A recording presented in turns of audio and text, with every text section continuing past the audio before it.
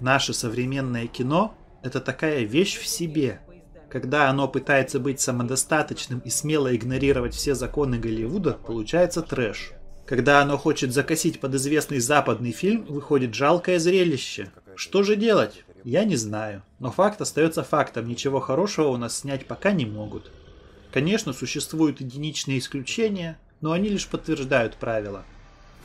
Лента Диггеры посвящена городским легендам о метро. Однажды ночью поезд с пассажирами проносится мимо конечной станции в неизвестном направлении.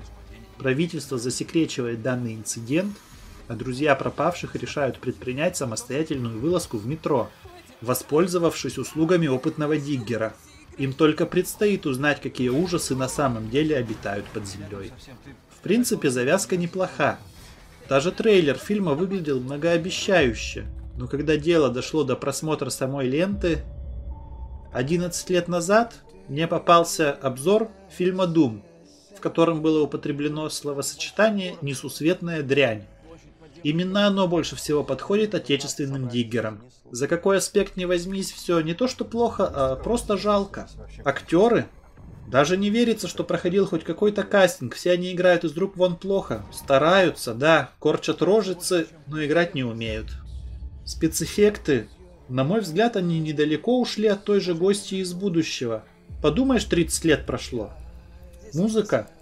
Да, к ней меньше всего претензий. Но вот главное в фильме сюжет начисто лишен логики. Я уж не говорю о мотивации персонажей. Естественно, здесь используется модная параллельность повествования. Мы следим за первой группой пропавших, а затем видим, как по этим же местам проходят их друзья, отправившиеся на спасение. А так как все без исключения герои безликие и не запоминающиеся, то порой начинаешь путаться, а кого именно в данный момент нам показывают. Короче, несусветная дрянь. Ведь если фильм всерьез гордится, что он первый, в котором орудием убийства выступает палка для селфи с работающей камерой, это о многом говорит. Кто тебя тянет?